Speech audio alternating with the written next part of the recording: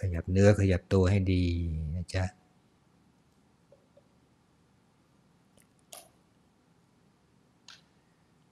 หลับตาเบาๆ อย่าถึงกับปิดสนิทนะจ๊ะปลือตานิดๆเนี่ยหลับตานี่เป็นด่านแรกเลยนะ ถ้าเราหลับตาเบาๆเป็น ก็จะทำให้เราวางใจเบาๆเป็น การปฏิบัติธรรมเรื่องหลักอยู่ที่การวางใจนั่นแหละ วางใจเป็น วางใจเบาๆ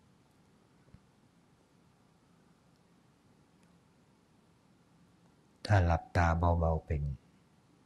ก็จะวางใจเบาๆเป็น เพราะเปลือกตาเป็นของหยาบ ใจเป็นของละเอียดทำหยาบให้ละเอียดได้ ของละเอียดก็ทำให้ละเอียดได้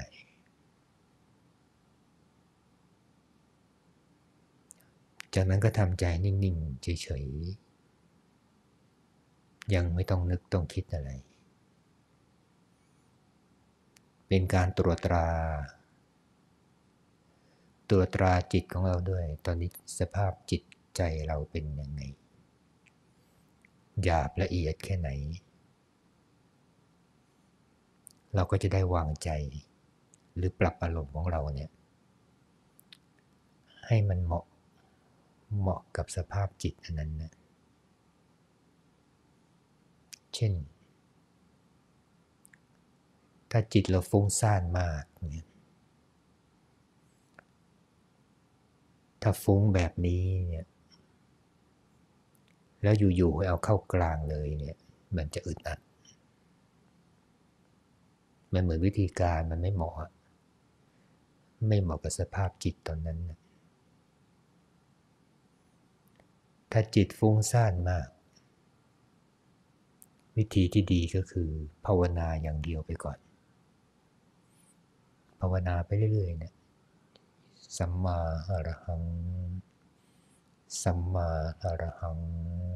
สัมมาอรหังนี้ไปเรื่อยๆเนี่ย จนจิตเริ่มสงบ ถึงตอนนั้นค่อยน้อมเข้ากลาง นึกภาพแล้วภาวนาประคอง ประคองใจไป แต่ถ้าจิตเราละเอียดอยู่แล้วเนี่ยตัวตราโนเนี่ยผู้ที่จิตละเอียดนี่นะ ไม่ต้องทำอะไรเลย แค่หลับตาเบาๆทำใจนิ่งๆ ใจก็กลับมาตรงกลางแล้ว นี่ฝึกเป็นผู้ที่ฝึกอย่างต่อเนื่องสม่ำเสมอ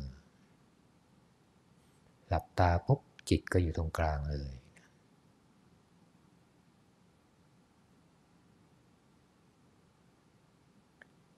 เราก็ปรับวิธีการให้เหมาะนะให้เหมาะกับสภาพจิตเราตอนนั้นนะ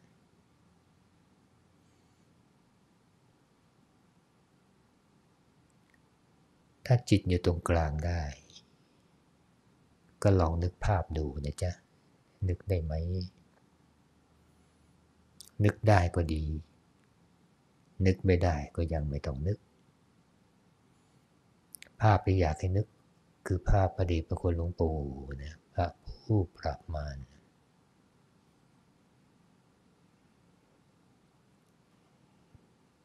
ตอนนี้นี่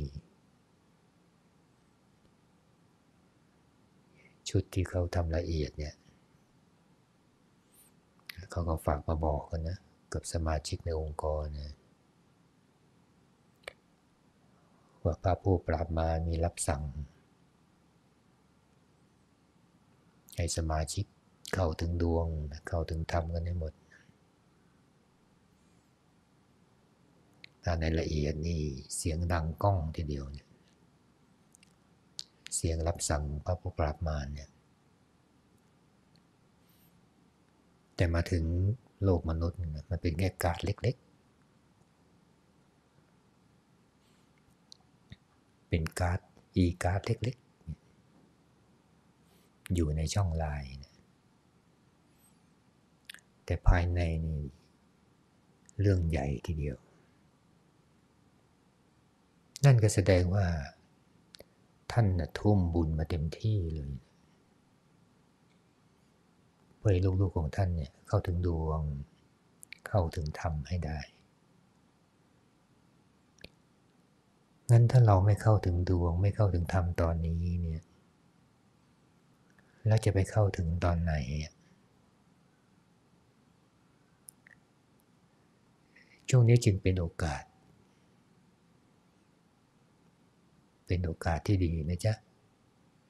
ที่เราจะเพิ่มความขยันหมั่นเพียรในการปฏิบัติ ให้มากขึ้นกว่าเดิม จัดสรรเวลาให้ดี กิจกรรมอะไรที่มันไม่ได้ก่อให้เกิดประโยชน์เนี่ย ก็ตัดตัดมันออกไปบ้าง สงวนเวลาไว้เนี่ยสำหรับการปฏิบัติธรรมให้มากๆ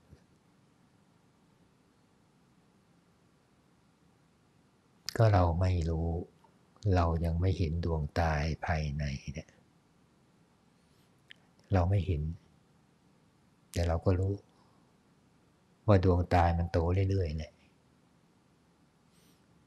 แต่โตเร็วโตช้าเราไม่รู้ เราไม่เห็น แต่รู้ว่าโตเรื่อยๆ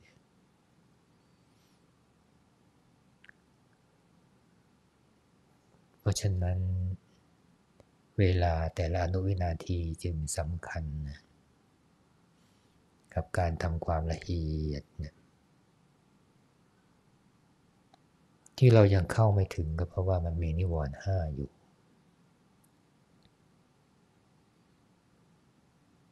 แต่ถ้าเรามีความเพียรแค่ภาวนาสัมมาอรหังเท่านั้นแหละ แค่สัมมาอรหังหนึ่งครั้ง ก็ละลายนิวรณ์ห้าไปได้หน่อยหนึ่งทุกครั้งที่สัมมาอรหัง นิวรณ์ห้าที่กลางกั้นอยู่เนี่ยกลางกั้นจิตเราไม่ให้เข้าถึงธรรมเนี่ย ก็ละลายไปทีละนิด ทีละนิด ทีละนิด ทีละนิด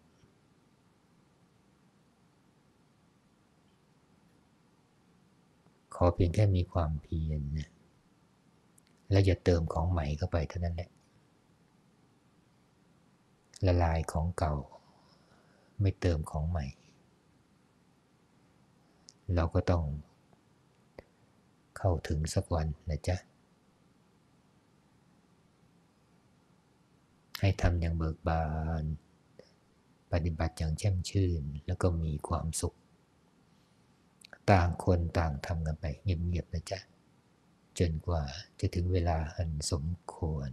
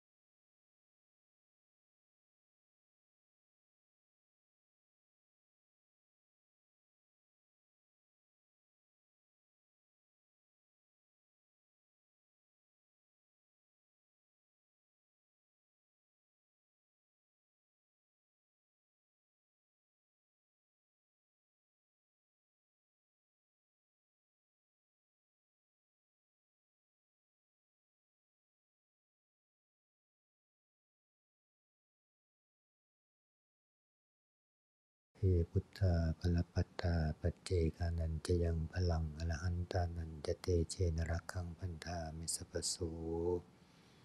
เต อัตถะลัทธาสุขิตาวิรุฬหาพุทธะสาสะเน อะโรคาสุขิตาโหถะ สะหะ สัพเพหิ ญาติภิสัพพะพุทธานุภาเวนะสัพพะธัมมานุภาเวนะสัพพะสังฆานุภาเวนะสะทาโสทีภวันตุเต